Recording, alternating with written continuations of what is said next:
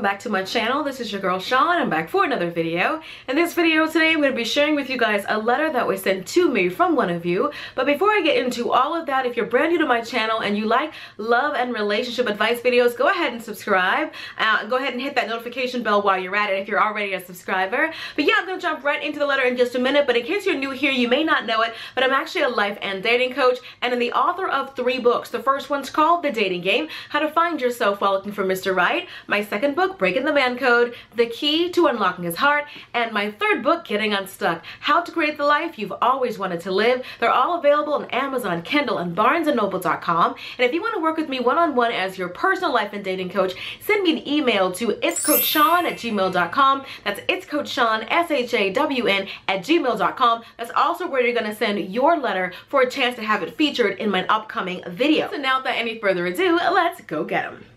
Hi Shawn, I love your vids and you have been an inspiration to me for the last few years. I'm 29 going on 30, recently broke up with this guy, just turned 30, who is a part-time master's student with two minimum wage jobs, works a total of 24 to 28 hours a week. We met online and instantly got on, so I thought. Uh, we would meet for days twice a week, message throughout the day, and call each other every other day despite our busy schedules. However, after three weeks of dating, he was hinting at exclusivity. Girl, I hinted no. then he directly asked me about exclusivity and in five weeks. I asked him to slow down. Then at eight weeks, I still said that I needed to get to know him more and let him know what I wanted for us and for him to do, my standards, before I would be happy to be in a relationship with him. He seemed to understand, but a week later, he was introducing me as his girlfriend without me agreeing to it, that we were even in a relationship. But I let it go and thought, I really like his company and we have fun together, so I'll just roll with it. He is way better than my last relationship and my ex, but things seemed to go downhill from there.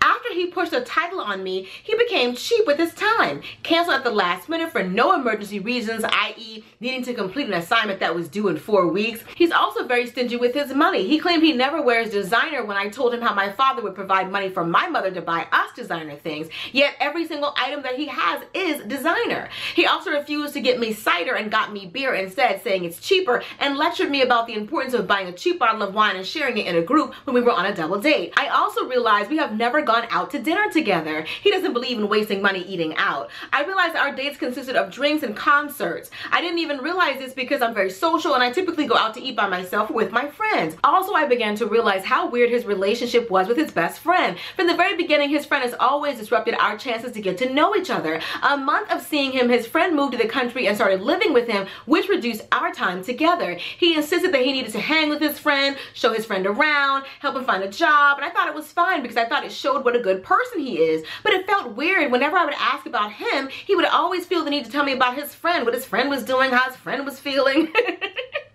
He also attempted to bring his friend on our dates. I refused the first time he asked. Eventually, we went on double dates, but uh, I thought that made more sense, but not a throuple date. The second and final time, I was caught completely off guard because his friend was at the date venue. Girl, what?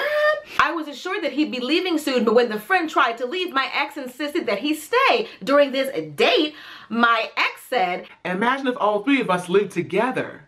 I promised you, girl, he was dead serious. At this point, I realized how incompatible we were. He lied about some of his beliefs as well, and he's also very cheap. I also am going to be buying a house next year, and I feel as though he was hinting for him and his friend to live with me. When his friend wanted to leave, he decided to leave too. Bear in mind, it was only 9.30 on a Friday. I knew I had to break up with him because being with him began to make my skin crawl because he was not up to my standards. I tried to reaffirm my standards again and asked him to meet in person. I was open to reconciliation, but I really wanted to break up with him in person. He canceled on me twice, half an hour before the time we were due to meet. When he tried to rearrange it, he would message me on the day and ask me to meet him in the evening of the same day. I had enough, so I broke up with him via text, something I said I would never do, and it felt terrible. I wonder if I did the right thing. Was I being too hasty? Should I have been more direct about my standards instead of sitting back and judging him by his actions rather than his words? I worry because I've never been in a healthy relationship. I took three years out of dating just to work on myself, and I feel mostly confident about my decision, but there's a small part of me that feels guilty and unsure. I know this doesn't quite fit the narrative of most of your strawberry letters, and I know most women would be happy with the guy uh, to be officially claiming them and introducing them to their friends, but this just felt off. Was I wrong to break up with him? No, Absolutely not. There is so much that I want to talk about in this letter, so I'm going to try to keep it as concise as I possibly can. There are red flags all over this bad boy, but I'm really proud of you that you were mature enough and had the discernment to be able to see these things and that your spidey senses were tingling and you can kind of see, okay, red flags, warnings everywhere. So many things. Number one, when a man is rushing, rushing you to the extent that this man was rushing her, you always have to be careful. Only a couple of weeks, two or three weeks of dating and you already want to be my boyfriend? How do, this isn't about you wanting me. How do I know that I want you after only dating you for two or three weeks? Like, what makes you think that that's all it takes is a couple of dates and all of a sudden you're worthy? Like, boy, if you don't stop, no. You always are leery of a man who is rushing you to that extent because is he rushing towards you or is he running away from something or someone? Sometimes people have so many skeletons in their closet, they're they're living in fear that they'll be exposed at any minute. So they want to rush the relationship along. They got their hand on the closet door where there's an, a wife, an ex-wife, a, a baby's mother, they're living with someone, a relationship, a girlfriend. There's so many things and they don't want you to find out who and what they truly are. So they want to rush you along. I think he wanted to rush things along because he he has plans for you. And he can't do that as some dude you're dating, but he can get as far as he wants to get if he's your boyfriend. That's why that's all he was really about from the very beginning. Him pushing the friend on you. I feel like all of that was, has been arranged. All of that has been organized. They talked about you. I don't know if what he's trying to do is get you to like the friends. They can possibly enter into a three-way relationship with you. That's why this friend is on your dates with you. Or if he just wants the friend to be able to live with you. I think he mistook you being passive for you being desperate. That's why you want to be very clear about your standards, what you want and what you don't want, and you can't be flexible about that. Like in the beginning, you were standing strong. When he was trying to push the boyfriend title on you, you were like, no, I'm not ready. A week later, he asked you again, no, I'm not ready. Then you had a conversation with him about what it will require of him to, for you to be ready. But yet you let him get away with calling you your, his girlfriend and introducing you as such in front of people. So he thought, got her. I wore her down. Same thing with the best friend. You initially said, no, I don't want your best friend with us on a date. But you eventually gave in a little bit when he tried to, he did the little workaround and then he ended up doing a double date with the friend and another girl. And then eventually the, the best friend was waiting for you guys at the venue. Like, I think he thinks he can wear you down. And I think he had his eyes on the big prize. He sounds like he doesn't really want to work and that he's looking for a go-getter, which to me is the most disgusting characteristic in a man. And that is laziness.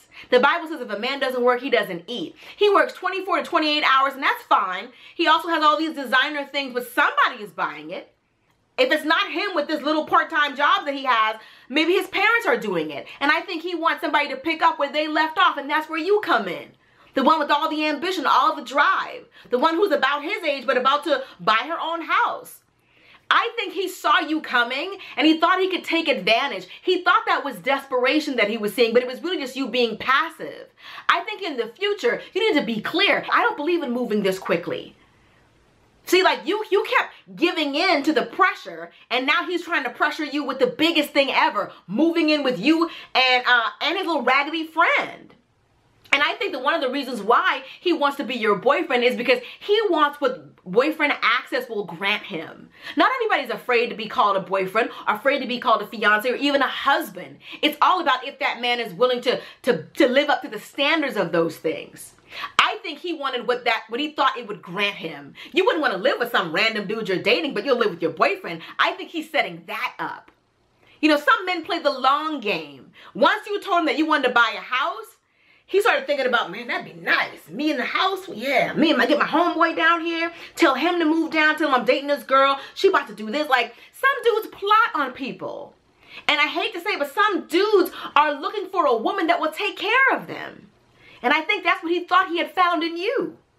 I'm not sure it has anything to do with you. I think it really has to do with him being somebody who only wants to work. He got used to this lifestyle of working 24 to 28 hours and going to school and having designer things. He got somebody like you who had money, used to money, and he thinks he can just slide right in. But then he has the nerve to be greedy with it and not just want you to eventually provide for him, but he's also bringing this raggedy friend along.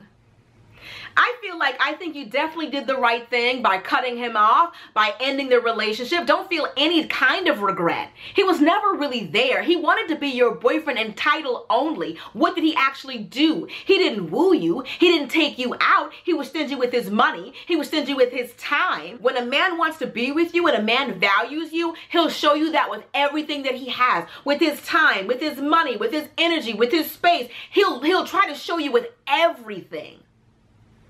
When a man isn't really giving you anything but asking for all that you have, it's because he's trying to set you up. He's trying to use you. I feel like the whole thing was a setup. Him trying to force the best friend on you, trying to make you like the best friend even though you don't. Like you're trying to get to know him and he's like, you know, my friend's doing this today. He's feeling this today. Got the friend on the dates and all that. Especially when he mentioned, you know, we could all live together. I bet the friend didn't flinch because I feel like they talked about it. They discussed it and they discussed you. The friend was like, I'm telling you, I'm telling you, bro. If I can convince her to be my girlfriend and I can move in her, man, you good. I think they had that kind of conversation behind your back. I think they think that you're a sucker. And they think they think that you were desperate. All because you you you only seemed that way because you were being passive. But I think you surprised him when you broke up with him. He's like, man, I thought I had her. I hinted about the relationship she gave in. I hinted, you know, about letting my friend kick it with us on our date. She gave in. I'm hinted about the house and that ended it. Like, what happened? I think you shocked him.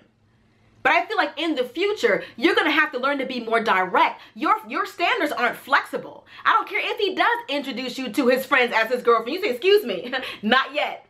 no, uh-uh, babe, we didn't discuss that yet. So no, we're just dating for now and we'll see how it goes. Like you, you'll stop people. You don't let somebody just say whatever they want to say about you in front of you.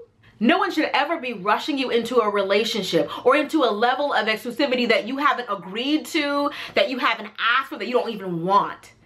I think if anybody's ever rushing you, you have to wonder, are you running towards me or are you running from something? That's when you pray your hardest that God would help to reveal, God, what exactly is he running from? Show me. Show me what I'm not seeing right now because there's something not right about this. But I'm proud of you for stopping it before it got too far. I feel like him and the best friend were setting you up. Alright, that's pretty much it. Hopefully you guys have enjoyed this video. Be sure to thumbs up if you did. I also would love to hear your thoughts and opinions below in the comment section, so go ahead and let me know. What do you think about this situation? Do you agree with me? Do you feel like she's being used? Do you feel like they were setting her up? Was it innocent? I'd love to hear your thoughts. And if you want to hear more of my thoughts on life and love, consider purchasing one of my books. The first one's called The Dating Game, How to Find Yourself While Looking for Mr. Right. My second book, Breaking the Man Code, The Key to Unlocking His Heart. And my third book, Getting Unstuck, How to Create the Life you've always wanted to live. They're all available on Amazon, Kindle, and BarnesandNoble.com. And if you want to work with me one-on-one -on -one as your personal life and dating coach, send me an email to itscoachshawn at gmail.com. That's itscoachshawn, S-H-A-W-N, at gmail.com. All right, I love you guys. I'll see you all in the next video. Till next time, later divas and dudes. Deuces, honey.